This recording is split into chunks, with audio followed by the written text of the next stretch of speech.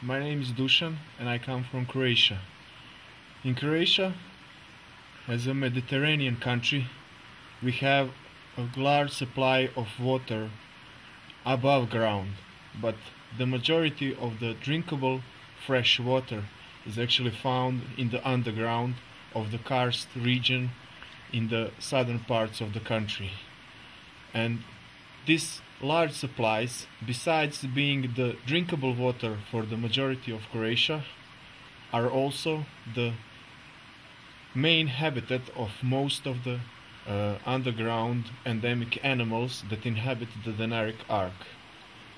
These supplies of water are now threatened by pollution and also by the uh, other human activities and our goal here with the project is to preserve the water for us but also for the animals to live in it.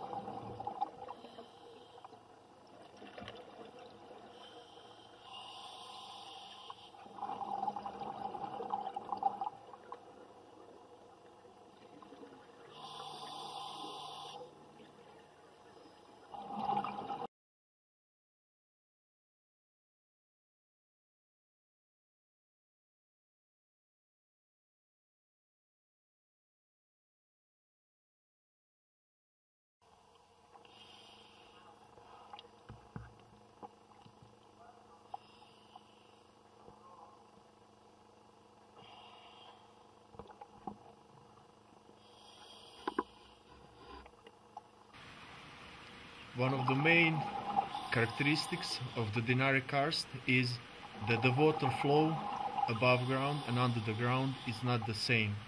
And the best example of this is the cave where we are now. It is called Rupečica.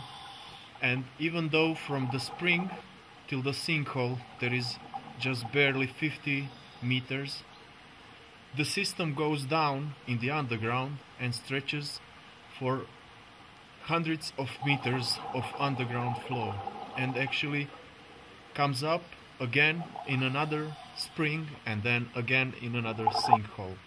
In this way we have a large underground river which is actually a large reservoir of drinkable water for the whole area.